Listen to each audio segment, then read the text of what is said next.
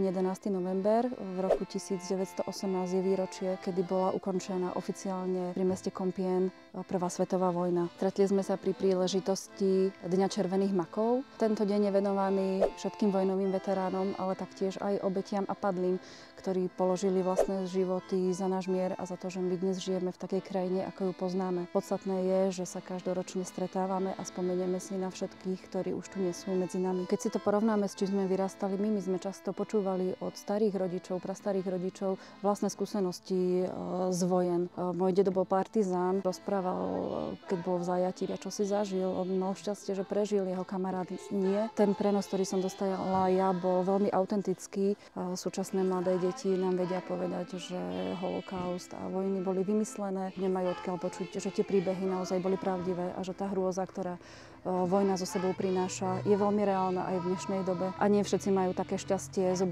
sa do bezstarostného rána, ako máme my. Na nás dospelých je na tom, aby sme veľa sa rozprávali s novou generáciou a možno sa snažili sprostredkovať to, čo nám bolo povedané.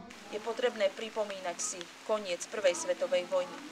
Je dôležité vidieť za symbolom červeného divého maku krv preliatu za slobodu všetkých, ktorí padli vo vojnách.